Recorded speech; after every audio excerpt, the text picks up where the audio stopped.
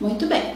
Para nós entendermos hum, como é que essa administração foi aplicada à enfermagem da forma como nós a conhecemos hoje, a gente vai ter que voltar um pouquinho no tempo para entender de onde surgiu essa administração. E aí a gente vai lá para a origem do termo, porque é exatamente ah, de onde a gente vai ter essa relação para entender como essa administração funciona. Então a gente percebe que essa administração, o termo administração, ele está partido em dois, em, em, é, na verdade ele apresenta duas partes. Essa primeira, ad, significa que tudo que se refere à direção, à gerência. E a parte minister ou minister, ela tem um caráter de subordinação, obediência. Isto quer dizer que não há como se ter uma administração sem que haja uma relação entre a direção, algo que seja de, de, de, de é, cunho diretivo e uma linha de subordinação. Em todo momento eu vou ter um administrador e vou ter um administrado. Ou seja, só dá para ter isso entre pessoas.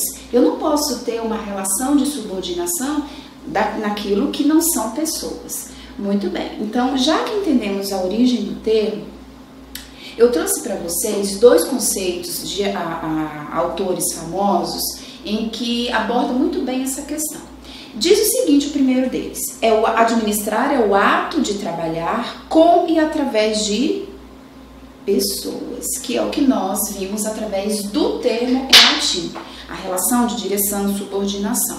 E essas pessoas vão trabalhar com e através delas mesmas para poder realizar objetivos que nós vamos entender como se alcança um objetivo dentro de uma organização, a finalidade para a qual aquelas pessoas estão trabalhando. E esses objetivos, eles vão ser tanto da organização em que essas pessoas estão inseridas, quanto os objetivos das próprias pessoas, ou seja, dos seus próprios membros. Então, esse é um conceito bem interessante e que aborda um, algumas variáveis que a gente não pode deixar de lado. Em toda a área administrativa, sempre nós vamos falar em pessoas, objetivos, organização, enfim. O outro autor traz o seguinte, que administrar é o ato de gerenciar pessoas e recursos. Olha que interessante. Ele diferencia um pouquinho essa questão de pessoal e recurso, a fim de alcançar objetivos, novamente sendo é, é, jogado no conceito para que nós possamos trabalhar essa finalidade. Então, é, nós podemos ver que essas variáveis vão estar sempre presentes nos conceitos em administração. Então, você, quando você for fazer a sua prova, a gente tem que lembrar que essas variáveis são importantes. E provavelmente no comando de alguma questão, você vai ter algo relacionado às pessoas, algo relacionado aos objetivos dessa organização ou algo relacionado aos recursos dessa uh, unidade. Muito bem. Em seguida, nós vamos falar um pouquinho, ainda dentro dessas variáveis, a, a, continuando, na verdade, a origem dessa administração, porque essa administração é uma administração que veio da linha lá das ciências humanas. Então, nós temos aqui a ciência humana e não exata é, é, preconizando essa ciência administrativa. Agora, nós precisamos entender que essa administração, pelo fato de ser oriunda da ciência humana, ela vai ser a aplicação prática daquilo que eu considero como princípio, como norma, como funções dentro das próprias organizações, porque são relação entre as pessoas. As pessoas vão ter que trabalhar conjuntamente para alcançar os objetivos dentro daquela organização.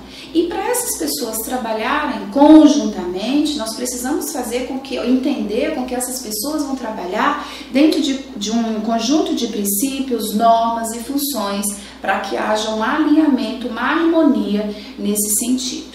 E isso vai ser aplicado tanto em organizações públicas quanto em organizações privadas ou um misto entre público e privado ou de outra natureza.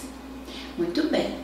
já que estamos trabalhando com pessoas, com recursos, essas pessoas vão trabalhar dentro dos seus objetivos que a organização quer que seja alcançado, essa organização ela vai trazer alguns pilares, porque não é não é possível fazer com que os objetivos sejam alcançados sem esses pilares básicos dessa administração. Do que, que eu estou falando? Estou falando dessa questão de planejar. Porque as pessoas, para alcançar aquele objetivo que eu trouxe lá no conceito, elas vão ter que caminhar rumo a eles. Como é que eu caminho? Planejando o meu trajeto. Então eu vou planejar, eles, esse planejamento vai ter que ser executado de uma forma organizada, ninguém pode sair fazendo o que quer dentro de uma organização. Lembre-se, nós vamos trabalhar para os objetivos serem alcançados em qualquer organização. A enfermagem, ela é um conjunto de pessoas trabalhando dentro de uma, de uma organização, que no caso dela é o próprio hospital. Então a gente não vê dentro de um hospital a, a, as pessoas alcançando o objetivo pelo qual elas estão trabalhando sem que haja um planejamento, sem que haja uma mínima organização desses processos. Agora, essa organização ela vai precisar de um norteador. E esse norteador, quem vai dar, é quem está em nível de direção, em nível de gerenciamento, em nível de gestão dessa organização. Porque é preciso fazer com que haja o controle do planejamento para nós adequarmos. Esse planejamento vai atender os objetivos esperados para que haja êxito ah, dentro dessa organização? Então, são quatro pilares extremamente importantes. Obviamente que nós vamos traduzi-los ao longo das aulas e eu conto com a sua participação para que você realmente fique ligado. Pode parecer um assunto um pouco maçante, um pouco teórico demais, mas eu vou sempre tentar trazer a aplicação disso na nossa prática em enfermagem, tá certo? Muito bem. Esses pilares, então, pessoal, eles vão ser úteis para poder nós trabalharmos essa questão da produtividade. Como é que eu posso explicar essa produtividade para vocês? Veja só, dentro de um hospital, ou dentro de uma organização, as pessoas não trabalham sem um objetivo. Lembre-se, é um objetivo tanto para elas quanto para a própria organização. Há um bem comum envolvido. Muito bem. Agora, essa produtividade pode ser, por exemplo, uma realização de uma ação em saúde pelo qual eu estou contratada. Vamos supor que eu seja enfermeira do pronto-socorro de uma organização, ou seja, de um hospital. Uh, já que eu sou enfermeira do pronto-socorro, significa que a minha produção vai estar ligada, a minha produtividade vai estar ligada à realização de ações em saúde dentro desse serviço. Só que ao final de um mês, eu vou ser recompensada pela produtividade que eu apresentei. Como é que eu sou recompensada? Pela remuneração, pelo salário que me é pago. Muito bem. Isso para qualquer organização. Mas vamos olhar agora o lado de quem está à frente dessa organização. Lembre-se que no primeiro momento nós falamos dessa relação de subordinação, da direção e da linha é, subordinada. Falamos da linha subordinada dando o exemplo da, do enfermeiro trabalhando no pronto-socorro. Agora pense o dono desse hospital. Ele precisa com que todas as pessoas trabalhem em prol do, do, dos serviços é, pelo qual o hospital se propôs a fazer, mas porque ele também espera uma lucratividade ao final desse período. Muito bem, reparem, lucratividade, lucratividade é diferente da produtividade. Ah, quer ver uma coisa? Será que eu tenho produtividade e lucratividade em organizações consideradas públicas? Vamos supor, na Secretaria de Saúde. Será que eu tenho algum lucro trabalhando na Secretaria de Saúde? Será que quem é o secretário de saúde vai ter lucratividade? Não. Em serviços públicos, nós não falamos em lucratividade, porque ninguém lucra com a prestação de um serviço na área pública em saúde. Mas os hospitais particulares trabalham com a lógica de toda produtividade gerar uma lucratividade. As pessoas que estão ali se organizaram para alcançar os objetivos, mas no fundo, no fundo, o que se quer da instituição privada, da organização privada, é a geração de lucros, ou seja, é a lucratividade de fato. Nós tivemos uma prova que abordou muito bem essa, essa diferença e o candidato, se ele não tivesse segurança nessa diferenciação entre o público e o privado, ele poderia ser levado ao erro, associando que há também lucratividade nas organizações públicas em saúde. Então, muito cuidado com essa questão, ok? Muito bem. Vamos ao próximo, então no seguinte sentido, trazendo de forma resumida, essa administração então vai tratar o planejamento, a organização, a direção e o controle. Vou repetir. A administração sempre vai trabalhar com quatro pilares: o planejamento, a organização, a direção e o controle. Mas isso não pode acontecer sem que haja a tal da divisão do trabalho. Então acaba com aquela história de eu carregar o mundo nas costas dentro de uma organização. Será que nós enfermeiros temos consciência disso? Será que nós enfermeiros temos consciência de que para se planejar, para se organizar, para se dirigir, para se controlar processos dentro de uma organização, é preciso que haja a divisão do trabalho? A, a, nossa profissão ela já tem um pouco essa característica, divisão de trabalho formatada nas classes. Eu tenho enfermeiro, eu tenho técnico de enfermagem, eu tenho auxiliar de enfermagem, eu tenho o antigo auxiliar operacional de serviços diversos, o famoso AOSD, enfim. Então, de certa forma, há uma divisão de trabalho previamente já elaborada, reconhecida legalmente dentro do, dos instrumentos legais para isso ah, em que cada um execute a sua atividade nessa, na sua área respectiva. Agora, tudo isso que nós vamos fazer dentro da organização de trabalho para que o objetivo seja alcançado deve ser feito de forma eficiente e de forma eficaz. Olha que coisa legal! Aparecendo agora dois conceitos chaves, duas palavrinhas que costumam cair muito na sua prova, que é a diferença entre eficiência e eficácia. Nós vamos apenas introduzir, nós vamos ter um momento só para falar dessas duas palavrinhas e você nunca mais vai errar a questão de prova quando se tratar desses termos eficiência e eficácia, ok? Então, vamos entender, agora ficou fácil, né? Se alguém perguntar para você o que é administrar, sem precisar falar, lembrar daqueles todos os conceitos que nós já abordamos até agora, você vai falar o seguinte, que harmonizar ou administrar é harmonizar e coordenar pessoas. Agora, será que é fácil harmonizar e coordenar pessoas? Eu preciso ter os dois verbos associados, harmonizar e coordenar, para que essas pessoas se sintam bem dentro de uma organização. Então, nós vamos trabalhar muito essa questão da, do respaldo teórico na administração, porque precisamos ter a base disso dentro da enfermagem e a gente vai fazer essas associações. Muito bem. E por que, que essa enfermagem precisa entender de administração?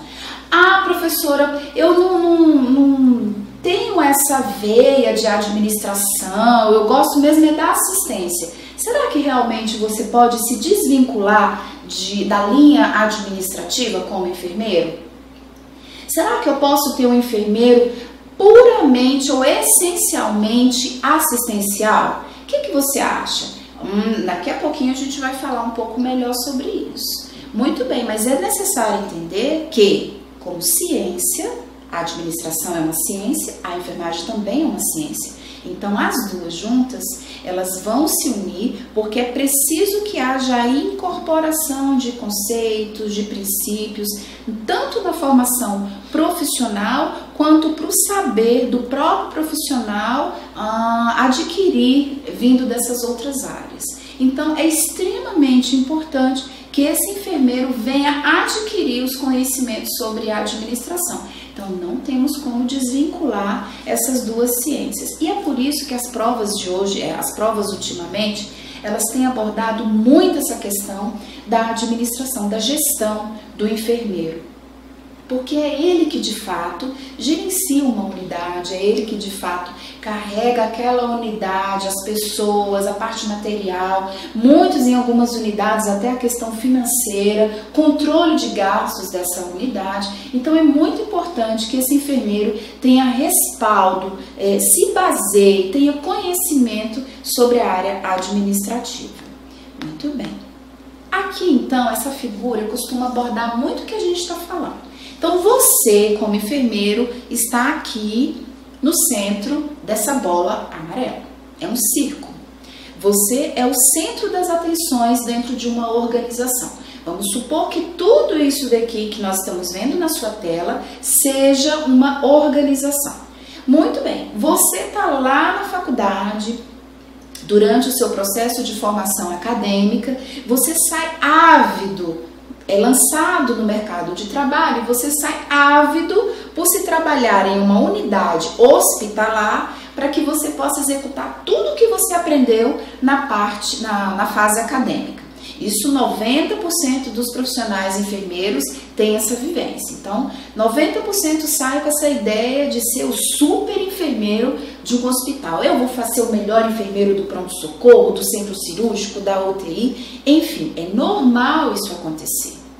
Mas, durante um processo de assistência, acontece, por exemplo, ah, de um técnico de enfermagem lhe procurar para tirar dúvida sobre uma prescrição que o médico ou médica realizou uh, numa dosagem acima do esperado, acima do que é preconizado na literatura. Você, como enfermeiro, tem isso claro que não dá para confiar 100% nessa prescrição? Você tem isso claro como enfermeiro que enquanto assistencial você tem que realmente averiguar, tem que confirmar se aquilo que está prescrito é de fato o que a literatura diz. O que vai te dizer isso é o pilar pesquisa. E hoje em dia está tudo muito fácil, tudo muito à mão. Qualquer, qualquer pessoa hoje tem acesso à internet. Perdão, pessoal tem acesso à, inter, internet de uma forma muito rápida. Ah, então, se eu, por exemplo, estou numa assistência e que vem um medicamento, onde meu técnico de enfermagem que vai ah, administrar está em dúvida e eu não tenho tanto conhecimento, vou atrás desse medicamento como pesquisa científica para respaldar a nossa ação. Por quê, pessoal? Nós Através desse momento de assistência associada a uma pesquisa, nós vamos livrar muitos erros que acontecem nas unidades de saúde, podendo inclusive livrar muitos pacientes de óbitos não esperados, como a gente vê hoje em dia. Muito bem, mas você continua enfermeiro assistencial e nada mudou. Ok. Uh, mas aí você está durante um processo assistencial, por exemplo, numa clínica médica, onde você recebe um paciente, ah, um descompensado diabético, e onde ele é internado, vamos supor, uma cetoacidose diabética, onde ele é internado para compensação dessa patologia e equilíbrio orgânico até o momento que ele realmente consegue ter a alta, possibilidade de alta. E nas orientações pós-alta são indicadas ações para que ele possa ter a, a sequência da, de, de, sua habilitação enquanto paciente diabético. Muito bem, o que, que você como enfermeiro faz?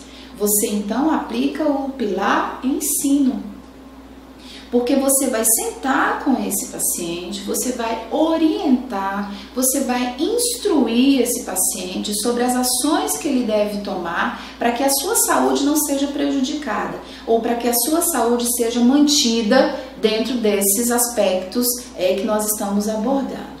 Muito bem, vejam como a gente está abordando. A assistência não pode estar desassociada da pesquisa e não pode estar desassociada do ensino. Mas eu deixei de propósito aqui embaixo, porque toda parte ah, de, um, de uma figura, ela a gente considera como uma base, correto? Então, a administração eu deixei embaixo. Porque ela é a base, pessoal, para que você, como enfermeiro, possa executar a sua assistência, possa executar a sua pesquisa e possa executar o seu ensino. Uh, não é possível fazer com que uma assistência aconteça sem que haja os princípios da administração aplicados. Então, o que que eu estou dizendo e o que que isso se traduz? Se traduz que não dá para você acreditar que é um enfermeiro puramente é, assistencialista. Então, a administração vai ter que correr na sua veia a partir desse momento. E eu quero lhe ajudar a entender como que esse processo pode acontecer de uma forma menos dolorosa, porque eu sei que muitos, ah, pelo fato de terem ah, uma certa versão, e a gente vai tentar reverter isso, e a administração é muito legal. No final dos nossos vídeos, eu quero, vou fazer uma pergunta para você. E aí, a sua ideia sobre a administração mudou? E eu vou ficar mais feliz ainda quando eu descobrir que você, que fez o curso comigo, conseguiu êxito na prova do seu concurso e você foi aprovado. Já pensou? Eu quero sim ter esse seu retorno, ok? Muito bem. Passando adiante, a gente tem o seguinte, que para que as coisas aconteçam da forma como a gente quer que aconteça na administração, isso veio sofrendo influências históricas. E até hoje a gente tem influências de alguns sistemas.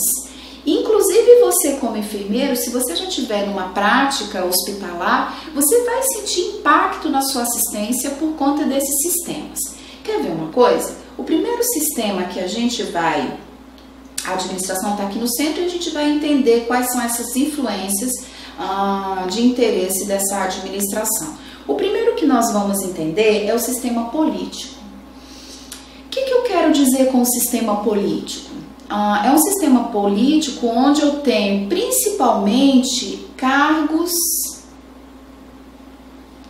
ah, gerenciais, cargos administrativos, mas eu tenho também uma questão de formulação de políticas, por exemplo, em saúde.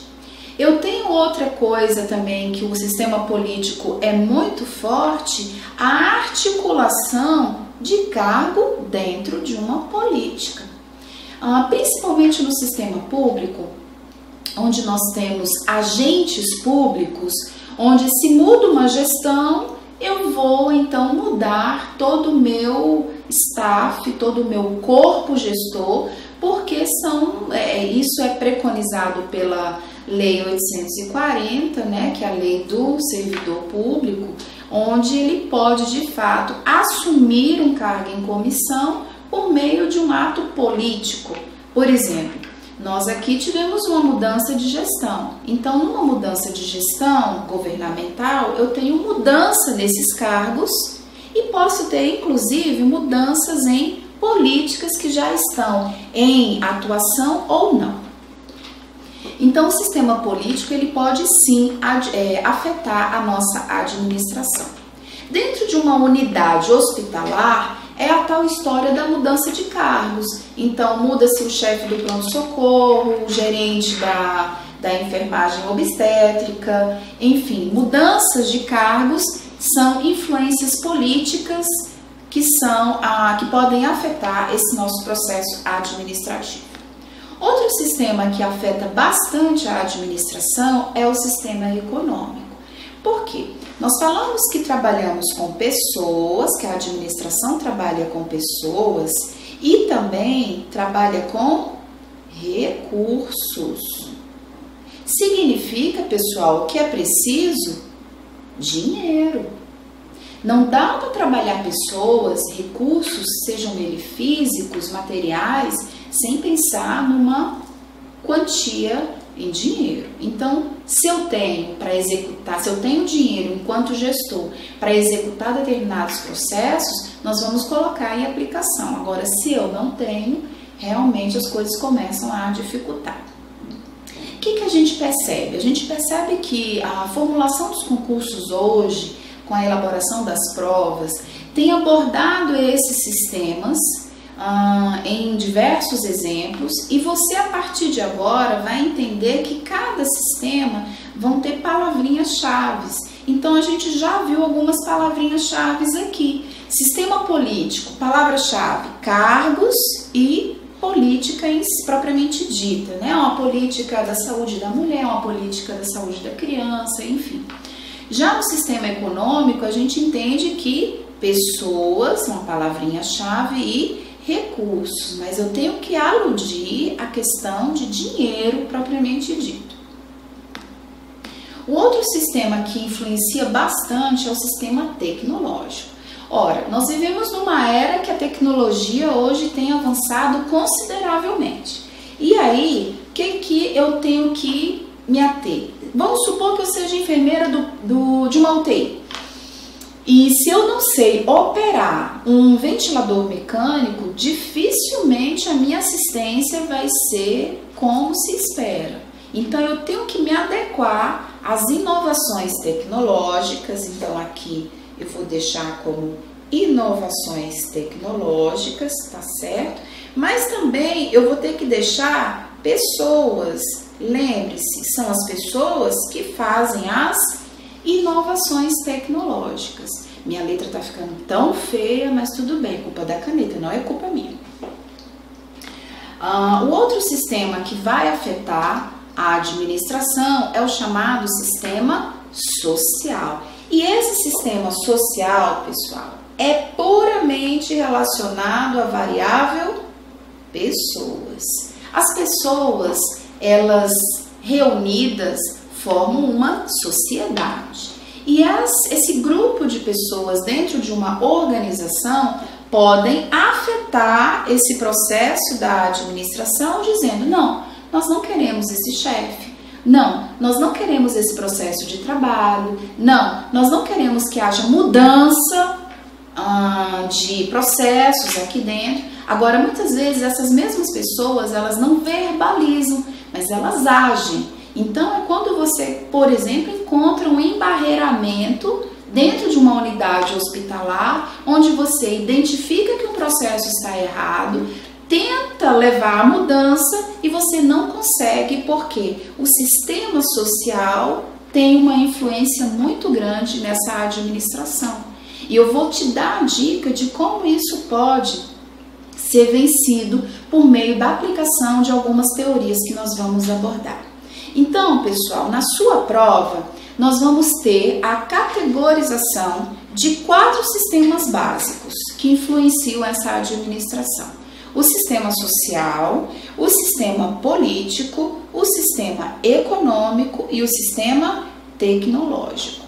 Como que isso vai aparecer na sua prova? Vai ser dada uma situação hipotética dentro de um hospital, onde você, onde vai se, por exemplo, ah, para você julgar verdadeiro ou falso ou marcar uma alternativa dentro daquilo que pode ou não afetar a administração daquela unidade. Então aqui você já sabe que se for relacionado a sistema social, você vai ter que é, é, focar na parte de pessoas. Se for na parte de sistema tecnológico, vai ser a, a, o foco em inovações e as pessoas que fazem essas inovações. No sistema político, a gente já abordou cargos e políticas, e no sistema econômico, pessoas e recursos. Ok? Bom, eu vou ali tomar uma aguinha e volto para a gente continuar essa conversa. Não sai daí que eu também estou te esperando, ok? Daqui a pouco eu volto. Enfe Concursos, sua melhor preparação em concursos de enfermagem.